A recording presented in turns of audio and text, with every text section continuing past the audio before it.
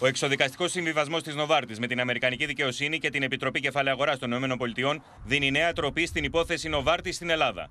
Η πολυεθνική του φαρμάκου καλείται να καταβάλει στο Αμερικανικό Δημόσιο πρόστιμο 340 εκατομμυρίων, εκ των οποίων τα 310 αφορούν στις παράνομες πρακτικές της θηγατρικής της στην Ελλάδα. Η ανακοίνωση του Υπουργείου Δικαιοσύνης των ΗΠΑ και οι δύο λέξεις κλειδιά που χρησιμοποιεί, υπάλληλοι και αξιωματούχοι, είναι το νέο πεδίο της σφοδρής σύγκρουσης μεταξύ Νέας Δημοκρατίας και ΣΥΡΙΖΑ.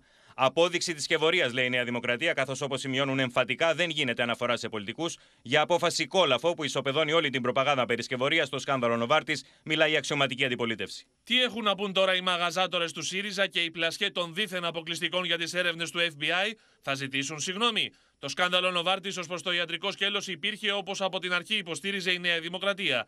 Όμως ο ΣΥΡΙΖΑ άφησε στην άκρη το πραγματικό σκάνδαλο για να στήσει μια πολιτική σκευωρία. Αναμένουμε να δούμε πώς θα σχολιάσει τώρα την παραδοχή της ίδιας της Νοβάρτης ο κ. Μητσοτάκης.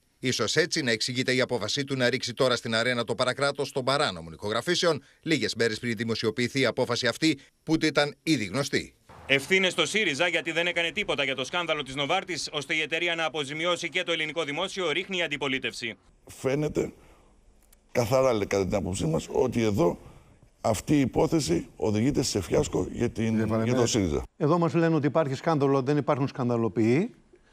Σπέβδουν, σπέβδουν να βγάλουν δικαστικές αποφάσεις. Ο εξοδικαστικό συμβιβασμός της Νοβάρτης και οι ανακοινώσεις των Αμερικανικών αρχών ότι καμία εμπλοκή πολιτικών προσώπων δεν υπήρξε βάζουν οριστικά τα φόπλακα στη σκευωρία του ΣΥΡΙΖΑ. Έπεσε στο κενό η άθλια κατασκευή του ΣΥΡΙΖΑ και του παραδικαστικού κυκλώματος που έστησε με τη βαθιά δεξιά.